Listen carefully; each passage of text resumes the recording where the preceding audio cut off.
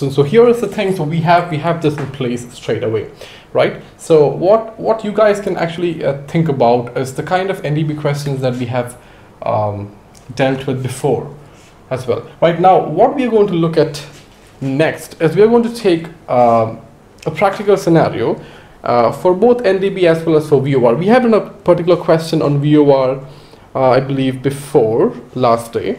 You can probably connect it to that particular question, but let's see both of them together on one board, right? Yes, so yes.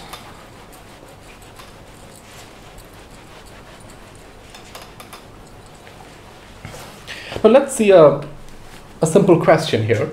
Uh, so let's let's take a navigation using NDB. You're kind of tuned into a particular NDB. Your ADF is pointing towards the NDB. So you know all those basic basic areas, right? Now uh, let's assume that the RBI is RBI, which is the ADF, uh, reads say for example 135 degrees. So that's more like your more like your relative bearing because it's, it's RBI here. And let's assume um, assume a heading of say 200 degrees. Uh, and let's draw a diagram here so you're flying the aircraft uh, the, the, the, the the, the, pilot is looking at the cockpit instrument, which is the RBI, and he re the RBI reads 135 degrees relative. And uh, he knows that the heading is 200, and that is indicated in the heading indicator as well. All right, so let's kind of draw the diagram straight here. So we have the NDB. Right. So what a pilot, this is, this is what the pilot will see. Right. Now what a pilot has with him is, uh, what do we have? Uh, as, as a pilot, so all of you have, all of you done, done with your flying. So as a pilot, what do we have? As a VFR pilot, um, we have a chart. Yes, we have the chart with us. So let's draw the chart here.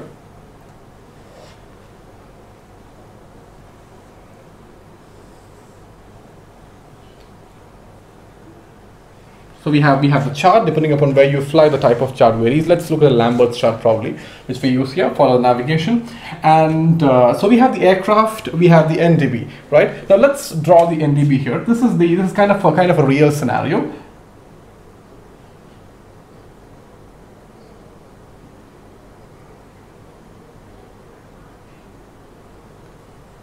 On NDB, say for example, let me name the MB NDB as FRX, right?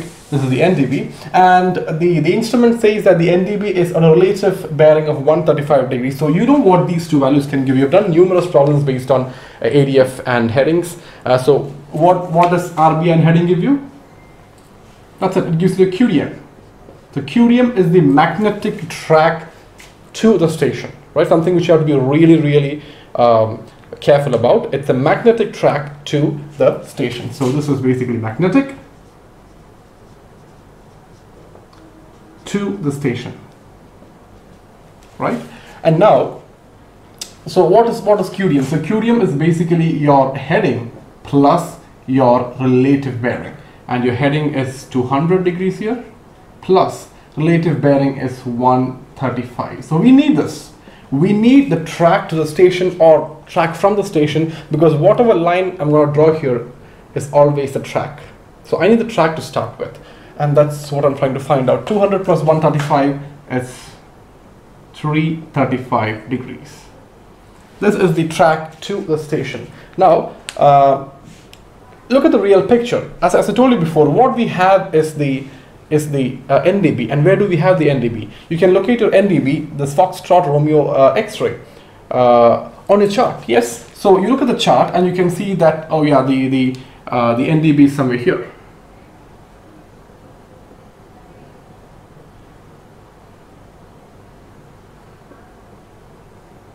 Right? You would see the NDB here, Foxtrot or Romeo here. You would see the frequency, you would see the Morse code, all those things will be there uh, on your chart, right? Now, uh, what about the aircraft? You don't have the aircraft, you, you are in the aircraft, but you don't have the aircraft position with you. We are trying to find that, which means I cannot really take my pen and straight away say, hey, I'm here. Uh, that's not really possible. Because what we have to fix the position immediately is the chart right? So I look at the chart, I see here, the NDB is right here, but what I know is that my ADF is telling me that the NDB which you have tuned into, which is Foxtrot Romeo X-ray, is uh, on, um, on a track, on a magnetic track of 335 uh, from the aircraft to the station, right? So from the aircraft to the station, it is, it is 335, right? But it's not very convenient for you to draw from the aircraft. Rather, it would be convenient for you to draw from the station because station is what you have on a chart. So this is basically for uh, for you to analyze from a cockpit point of view. So probably if you have not flown, uh, this might not be really clear or probably helpful for you. Uh, but you can just go through it uh, for, for your understanding purpose. But um, if you've flown, you understand what I'm saying. What I have is the navigation aid, not my aircraft. So what I need is practically not the QDM. What I need is my magnetic uh, track or bearing from the station, not to the station, right? But that's fine. We can deduce that from here. So if we have the QDM, if we can find the reciprocal of that reciprocal track, which is 180 degrees to it, what you'd be getting is the QDR. What is QDR? This is the magnetic bearing but now it is from from the station QDR Let's find out this is 335 and you take off 180 from that.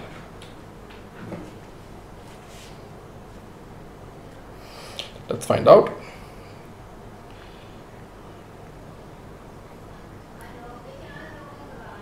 I hope I hope uh, your online guys are still streaming well if you have if you have uh, problems do let me know. Please drop in the chat because I probably might not really uh, see it otherwise. Okay? Or you can just call me out as well. All right so it is 335 and you remove 180 from it. That is 335 minus 180 which is 155 155 degrees. Now remember this is track from the station and that's what we want because what we have is a station with us on the chart. You are sitting in the aircraft but you don't know where the aircraft is because you're in the aircraft and now there's no aircraft. Right, now so we have the QDR value, we have the QDM value. Now what we need to do is to locate yourself to find your position, that's called position fixing, right? To do that you have to put this data on the chart that you have, again as a VFR pilot, that's the, that's the primary source of uh, source of information for you, terrain, uh, the, the routes, everything that's there on the chart for you. So over here, we have a problem. So what we have got here is all what the aircraft instruments have given us, what we have deduced from those values as well. And for that reason, all these values are nothing but magnetic. Now this is one very, very important thing which you have to, uh, we have to consider because something which you can completely forget doing, right? Um, now, so the, the track from the station, which is magnetic, is 155. So well and good, you know where you are with respect to the with respect to the NDB, right? So let me just draw that straight here. So I am on a track of 155 degrees. Now remember that is magnetic. It's more like a radial of a VOR, even though you don't generally call radial for an NDB. Uh, it's just like that. So 155 degrees magnetic from the station, right? This is more like the QDR. Right? It's always a good practice to even orient yourself with the opposite direction because in marking other angles, this, this can help you as a reference. Right? So it's QDM, which is track to the station, magnetic track to the station is what you initially found out, which is 335 degrees, again magnetic. This is something which you have to really note. All these values are magnetic because it's all deduced from the aircraft instruments and what you have added here. The heading which you have added right here is again nothing but magnetic because you got it from the heading indicator, right? Which is coupled with the compass, so it's, it's all magnetic. Perfect. Now, what I need to do is I want to position fix myself. I need to find out where I am. Now remember, just having the track from the station will not help you fix your position. You can see here, you could be anywhere on this track of 155 degrees. You could be 10 nautical miles, 20 nautical miles, 30 nautical miles from the station. Uh, now, there are a couple of sources by which you can actually find it out, right? So uh, that's it. So 50 nautical miles. So let me mark that 50 nautical miles here. You take the ruler and you measure 50 uh, nautical miles, right? You take the ruler, you measure 50 nautical miles, you mark it through that track, and that's it. You're right here. Now let's mark the aircraft, right? Now, to fix your position, uh, you need to kind of transfer this whole picture, the three-dimensional picture which you have made in the aircraft, straight to what you have, the piece of paper which you have, which is the chart, right? Now this is the trickiest part. When you take these values, which are, understand, magnetic, to a chart which is constructed with respect to the true or the actual poles, actual structure of the Earth, uh, you have to apply variation. That's it. This might seem very simple and kind of popularly known, but remember, in an aircraft cockpit environment, uh, it's very easy for you to forget this. If you fly in a country like India, where variation is at the moment zero, uh, this might not be significant because the variation is zero, and for the same reason, whatever in magnetic is in true as well. Uh, but if you fly in most of the other countries, you will have variation you have to apply the variation, right? Perfect. Now, let's apply the variation straight away. How will I apply the variation is the, is the primary question. Now, this is why we are kind of discussing this on the first place. As I told you, I'll be discussing VOR as well along with this.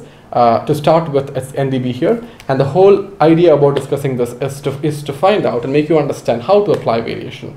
Now you can see that I'm kind of 50 nautical miles away from the NDB right? Now, let me assume, uh, even, even, if, even the distances are longer enough, like 150 or 200 nautical miles still works uh, better because now think about the variation at the NDB. Uh, say for example, we take it as 15 degrees east, 15 degrees east variation, right? So you know the basic ideas of variation and stuff. I'm not going into that. We have 15 degrees east variation, and let me uh, think about the the variation at the aircraft as say 20 degrees east variation. Now, uh, not to confuse you, let me draw the aircraft straight here. Remember, I will not be drawing the aircraft here practically. It's going to be drawn here, but I just don't want to keep this as a point. Let me draw the aircraft. Aircraft, draw the aircraft, consider the heading here, which is 200 degrees, right? So this is 335, definitely through 200. It's the left of it.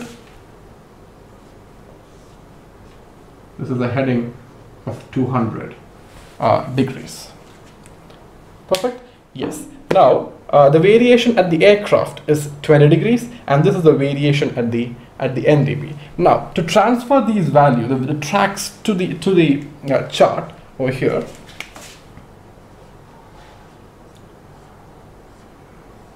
you have to apply variation. You're going to convert the true the magnetic value which you got here to true value which you're going to put on the chart right? You have two different variations now because NDB and uh, ADF, sorry, uh, NDB and the aircraft are at different locations. Which variation are you going to use? That is, that is the whole idea about this discussion. Otherwise, I'm pretty clear, you know the, the question part of it. We have done numerous questions based on this. All right. Yeah, exactly. So that's that's the whole uh, whole idea. Did you get why? Yeah, you can take some time. Think about it. I'll give you maybe two minutes. Uh, we have discussed this in VOR as well, a bit here and there, because I wanted to keep it as the kind of kind of a question to think about. I'll give you some time. Uh, think over it. Also, the, the guys who are streaming up there, think about it. Uh, the which variation would you prefer? Uh, probably use 15 or 20. Why do we take that?